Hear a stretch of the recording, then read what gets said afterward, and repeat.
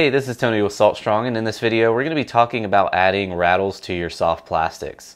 Now this can be something very effective to do, especially in murky water, dark water, or even fishing at night, because fish are relying heavily on sound and vibration to track down their food in low light conditions. They can't see very well, so they have to rely on those other senses. So when you add rattles to your soft plastics, you're increasing the chance of the fish finding your bait.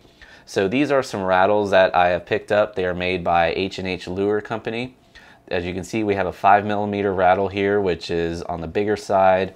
And then we have a four millimeter rattle, which is a little smaller.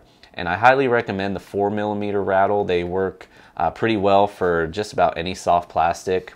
When you start getting into these bigger ones, they will sort of alter the shape of your bait and also they will get in the way of rigging your hookup. So I definitely recommend the four millimeter rattles. This is the one I have here. You can see how small it is uh, compared to the lures and also the hook.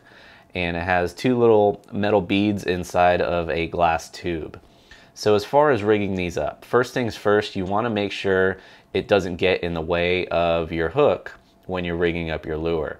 So I highly recommend rigging up your lure first seeing where the hook rests and then looking for an area that has enough meat on it that you can put the glass bead into. Now I typically like to put them closer to the head or near the middle of the body where there's a little bit more meat.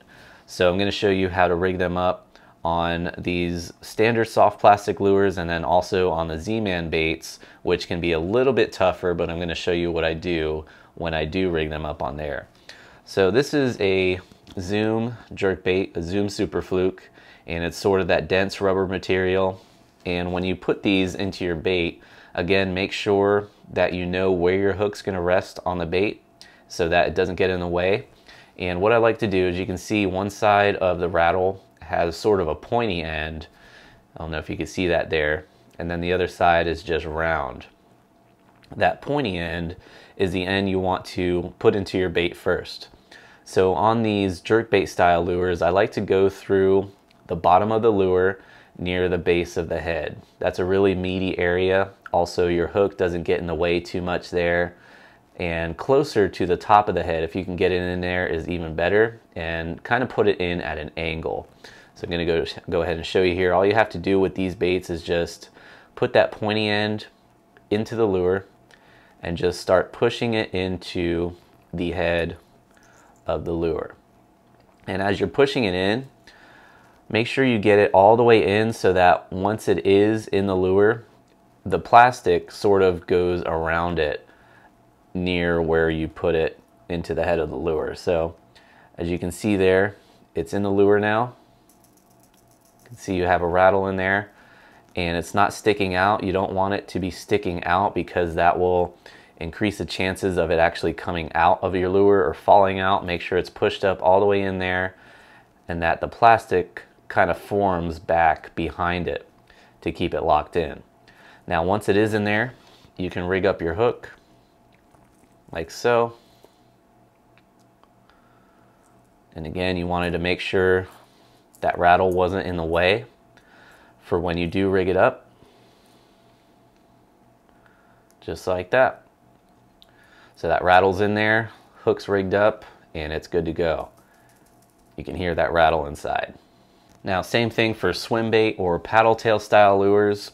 With these, I like to go through the top of the body near the middle where that gap would be, where the hook would go, and pretty close to the head. Again, take that pointed end of the rattle and again, put it in at an angle to the body. You don't want to put it straight in also, it's kind of hard to put it straight in that way. So what you want to do is just find a good spot to get that rattle started. Just start pushing it into the body. Then once you get it close, another thing you could do is just kind of pinch it into there near the back. Just pinch it in.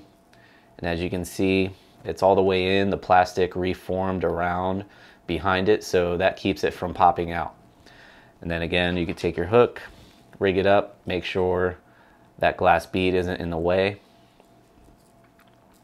These are owner uh, twist lock hooks that I'm using here just in case you are wondering. And as you can see, it rigs up nicely out of the way. And that rattle is in there ready to go. Now the rattles are also very easy to remove and I highly recommend doing so before your lure gets too destroyed that you end up losing the lure and the rattle itself. So all you have to do is just squeeze it out of the lure and it'll pop right out as you can see there. So as far as rigging up these rattles on the Z-Man baits, it can be a little bit difficult just because of the material they're made out of. It's that very stretchy material. It's very sticky. So what I have found that works very well is to use some sort of either a screwdriver, small screwdriver, or even an ice pick that can work as well. That's about the same width as the actual rattle. As you can see, they're about the same size. And along with the screwdriver, you're gonna need a lighter to heat it up with because that heat will actually help penetrate the bait better and you can create a pilot hole for that rattle to go into. So just to demonstrate here, again, make sure you know where you want to put the rattle on the bait. Have that planned out so the hook's not in the way. And you can just heat up your screwdriver with the lighter. Once it starts smoking, it's pretty much good to go. So once you have that heated up, you can go to where you want to insert that rattle. You can see how easily that's going through the bait because it is heated up. It's going right through that bait. Again, I'm going at a little bit of an angle just so uh, the rattle sits in there nicely. Go ahead and take it out. You want to be kind of quick so it doesn't cool down. Again, take the rattle, pointed end first, and just push it into that bait like so. And once it's in there, you can kind of squeeze it a little bit and pinch it to push it down further. As long as the plastic has reformed around behind uh, the rattle, it'll help keep it in there. Once it's in there, you're good to go. So you can hear that rattle in there.